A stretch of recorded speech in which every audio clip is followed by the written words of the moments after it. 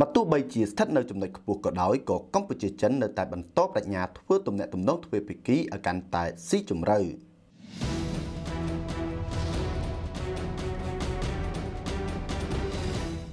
មន្ត្រីជាន់ខ្ពស់កម្ពុជាចិនបានបន្តបដិញ្ញាចិត្តក្នុងការធ្វើឲ្យទំនាក់ទំនងទ្វេភាគីរបស់ប្រទេសទាំងពីរកាន់តែស៊ីជម្រៅថែមទៀតខណៈដែលទំនាក់ទំនងនាពេលបច្ចុប្បន្ននេះកំពុងស្ថិតនៅចំណុចខ្ពស់បំផុត ការបដិញ្ញាចិត្តនេះធ្វើឡើងក្នុងជំនួបរវាងលោកឧបនាយករដ្ឋមន្ត្រីប្រាក់សុខុនរដ្ឋមន្ត្រីការបរទេសកម្ពុជានិងលោកវ៉ាងយីទីប្រឹក្សារដ្ឋនិងជារដ្ឋមន្ត្រីការបរទេសចិនក្នុងឱកាសកិច្ចប្រជុំរដ្ឋមន្ត្រីការបរទេសនៃកិច្ចសហប្រតិបត្តិការមេគង្គឡានឆាងលើកទី7នៅទីក្រុងបាហ្គានប្រទេសមីយ៉ាន់ម៉ាកាលពីថ្ងៃទី3កក្កដាក្នុងជំនួបនោះប្រមុខការទូតកម្ពុជាចិនបានជួបពិភាក្សាប្រកបដោយផ្លែផ្កាលើប្រធានបទផ្សេងផ្សេងភាគីទាំងពីរក៏បានឆ្លៀតឱកាសផ្លាស់ប្តូរទស្សនៈលើបញ្ហាតំបន់និងអន្តរជាតិមួយចំនួនផងដែរ